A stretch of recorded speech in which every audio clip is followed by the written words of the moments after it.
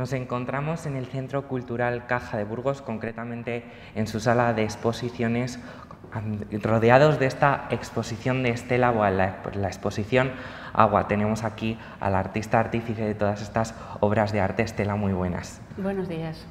Bueno, una colección con una temática como es el agua y con un, un poco una muestra de ese compromiso con el medio ambiente, ¿no?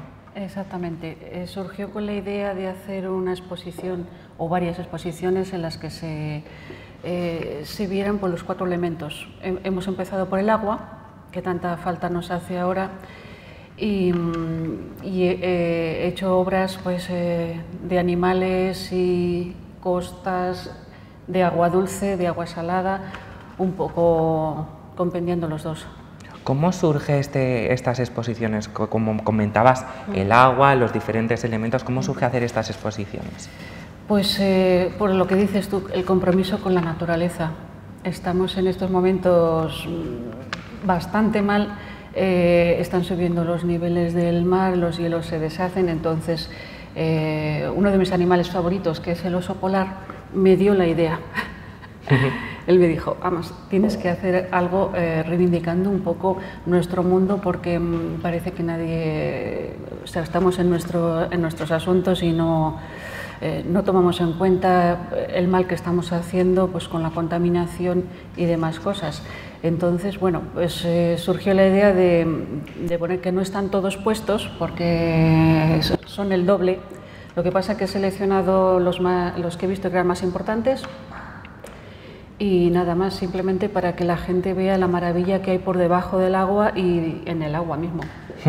Vemos un poco la muestra representativa de lo que es el agua en el planeta, cascadas, el hielo, el, el mar, un poco una visión a nivel global de lo que representa el agua para, para los humanos. Exactamente, para los humanos y para los no humanos, que es casi donde más eh, hincapié hago, aunque he puesto también el retrato de, de una niña en la playa, pero mm, fundamentalmente eh, es reivindicando un poco eh, el daño hacia especies que están desapareciendo. Pues, por ejemplo, pues tenemos ahí las tortugas, el pulpo, los delfines, gaviotas, eh, los cachalotes.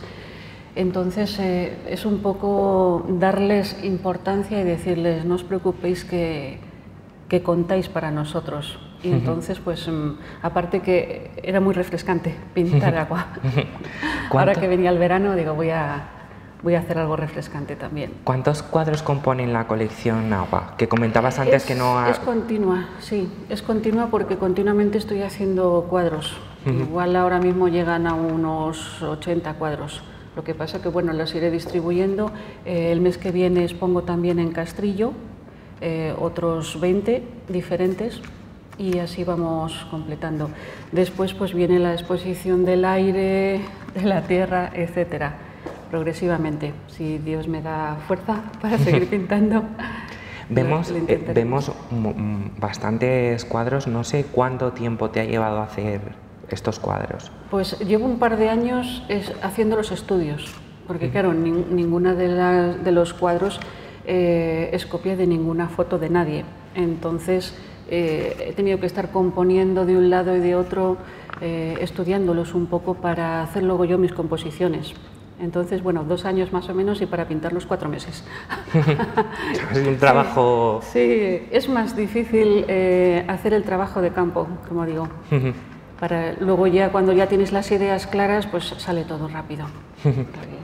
Háblanos un poco de la técnica que has utilizado para los cuadros. Sí, es, es óleo sobre lienzo, el óleo clásico de siempre. Sí, también trabajo en pastel, eh, tintas, pero ahora mismo me siento súper cómoda con el óleo. Es una cosa, eh, no se seca tan rápido como el acrílico, te permite hacer retoques, coger el cuadro al mes siguiente y volverle a, a retocar. Entonces me siento muy cómoda con el óleo ahora. Ya lo último que me queda, Estela, es que animes a la gente a que, a que vea esta visión tan, tan, tan tuya de lo que es el, el mundo en el que vivimos Bien. y concretamente del agua. Bueno, pues eh, simplemente decirles que es una fecha un poquito mala porque en julio está la mayoría de las personas de vacaciones, pero eh, ya que es eh, referente al agua, pues animo a la gente también, en vez de darse chapuzón en la piscina, pueden darse un chapuzón cultural, viendo los cuadros y viendo estas magníficas criaturas. Bueno, pues ahí cogemos esa invitación. Muchísimas gracias, Estela. tenemos, tenemos esta colección disponible aquí en el Centro Cultural Caja de Burgos hasta el próximo 23 de julio, así que anímense a ver la colección Agua de Estela Val.